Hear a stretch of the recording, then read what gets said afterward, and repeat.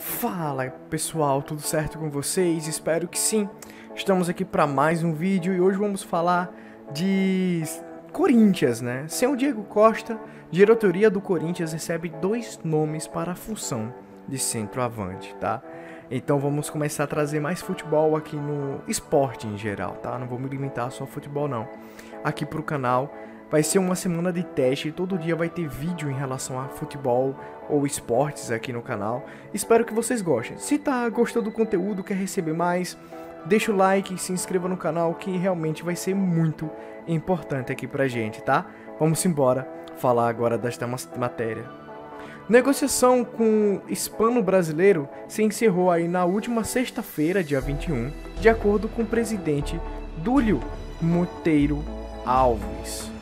O Corinthians está no mercado buscando aí um centroavante, eu acho que isso não é novidade para ninguém, desde o fim do ano passado, e busca nomes no mercado. Após tentativa em nomes de peso como Luiz Soares e Anderson Cavani, a diretoria descartou a chegada também de Diego Costa, que ficou livre no mercado após rescisão com o Atlético Mineiro. Abre aspas. O Corinthians pode deixar claro não, para deixar claro, não está aguardando jogador nenhum. Se quer jogar no Corinthians, vamos conversar. Se não, não vamos. Querer jogar no Corinthians com salário de Arábia, né? É não quer, é que é porque não quer jogar aqui, né? Estamos na nossa economia, nosso câmbio real desvalorizado. O Corinthians não fez proposta para o Diego e ficou aguardando. Não, o Corinthians escutou, depois da rescisão, o que ele pretendia para jogar aqui. Estamos estudando. Deixou claro que o Corinthians não trará o Diego Costas, afirmou Dúlio Monteiro Alves, que é o presidente aí do Corinthians, tá? Então, se a gente queria ter tinha um sonho de ter Diego Costa, eu realmente eu sou corintiano, deixando claro, né? Eu não tinha vontade de ter Diego Costa, para mim é uma dor de cabeça por um salário que não vai fazer sentido pro Corinthians, tá? Então espero que venha alguém bacana, alguém talvez jovem ou de meia idade, assim, quando eu falo meia idade, pelo amor de Deus, é tipo 25, 26 anos, tá? Pro futebol.